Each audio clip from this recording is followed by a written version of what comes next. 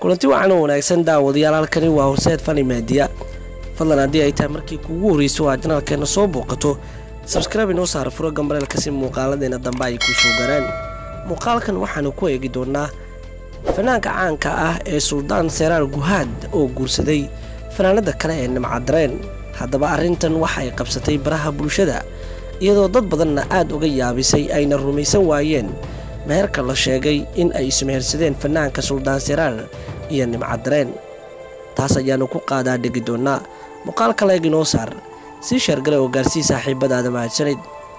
Fanaanka suldaan seraar guhaad waxay ahayd dhowaan markii uu safar kala gadisan uu ku bixiyey qaaradda yurub isaga oo bandhig faleedyo kala gadisan halkaas ku soo bandhigay.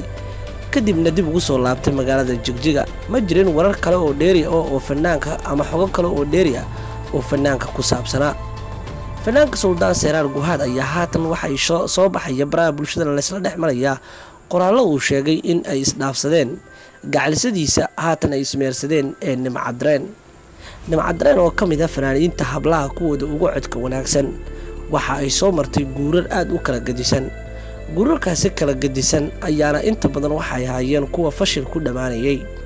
Si kastaba markan waxay isleen fanaanka suldaan seraar guhaad oo aanu ognahay isla sannadihii ka horreeyey ee labada kun iyo siddeed iyo tobankii in ay markaasna uu aqal galay oo uu guursaday.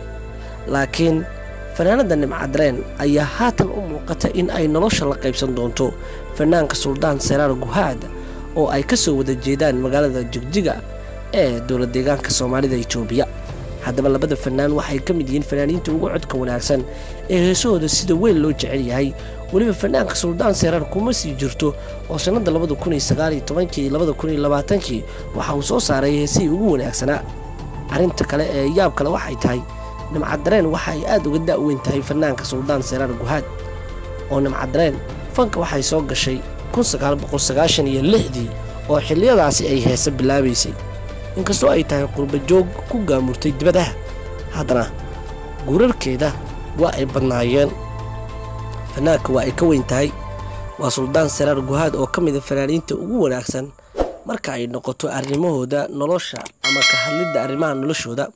Laakiin tan la sheegayo ee ah inay ismeersadeen isaga iyo nimcadareen waxay ka yaabinaysaa kow xaaskiisa iyo dhammaan taageerayaashiisa oo rumaysan weynaya in arrintan ay markaa dhacday. Wax kasta ka filo waa fanaaniin. Way heshiin karaan mustaqbalna waa ay wadaagi karaan iyada oo arrimo badan markaa ay ka dhexayso.